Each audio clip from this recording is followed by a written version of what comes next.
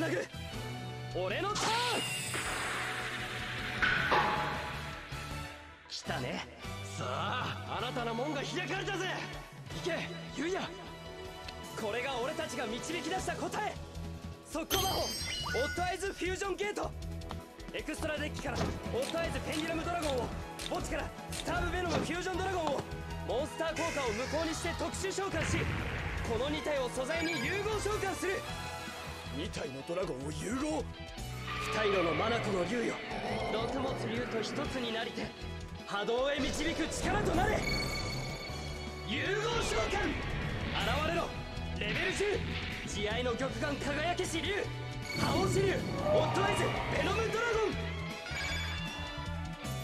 ゴン。なんて清らかなの。有利のドラゴンが浄化されてまだだよ。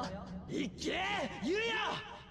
フィールドのオットアイズフュージョンゲートはその効果で融合召喚したモンスターが破壊された時墓地に送ることでデッキから速攻魔法オットアイズシンクロゲートを手札に加える。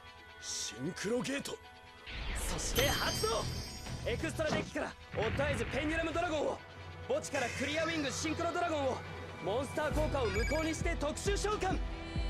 そしてオットアイズをレベル1のチューナー扱いにして。クリアウィングにチューニング。二色のマナコの竜よ。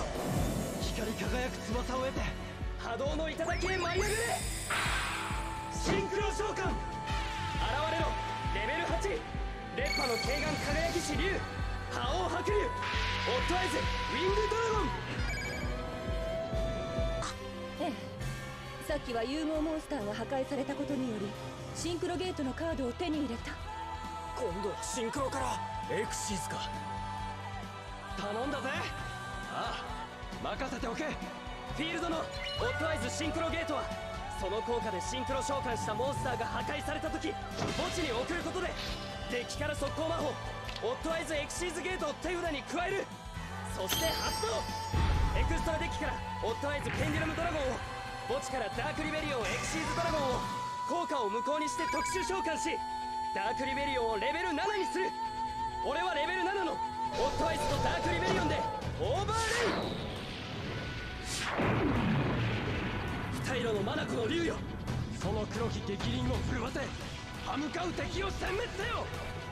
エクシーズ召喚。イデオランク7怒りのマナコ輝き支流。覇王国。竜オットアイズ。リベリオンドラゴン。